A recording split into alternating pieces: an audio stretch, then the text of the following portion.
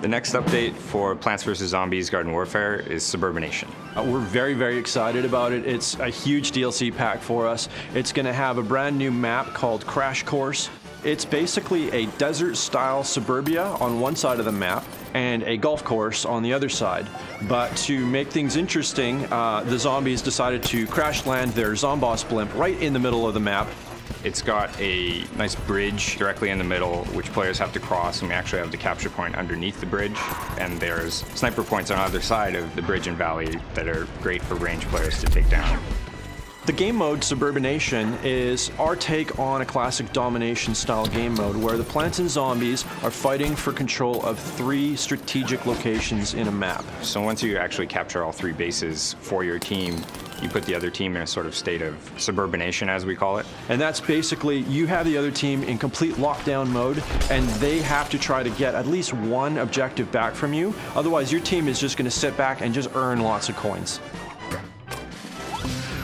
Our community is fantastic. They've been super supportive and vocal, and we were thinking of ways to include them in the design process more. So we held a contest to vote on the new pea shooter design. We took in hundreds of submissions of concept art and cool characters that people had created. We narrowed that down to a smaller field, uh, voted on those internally, and then presented the top picks uh, onto Facebook for fans to vote. The character that was selected was called the Plasma Pea Shooter. He's sort of got a cosmic flavor to him. His weapon is very similar to the Future Cactus where he can fire off a bunch of quick, you know, plasma peebers, but he can hold and charge it for like the ultimate plasma blast.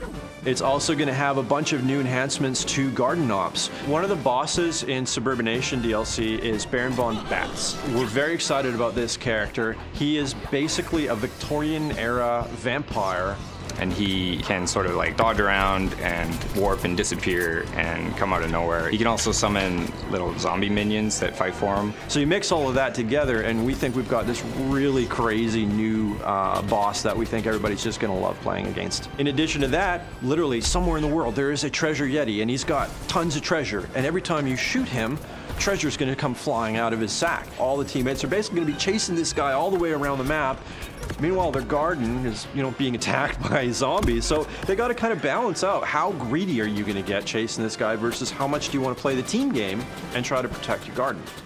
One of the big things in the next DLC is going to be customization. And for this, we went crazier than I think we've ever gone before. So the Amazing Bling Pack is going to be new to the Suburbination DLC. It's going to have a whole bunch of blinged out accessories for your characters to wear. Talking about gold eye patches, diamond studded pork chops. The, the game is epic. Like, just ridiculous, ridiculous things.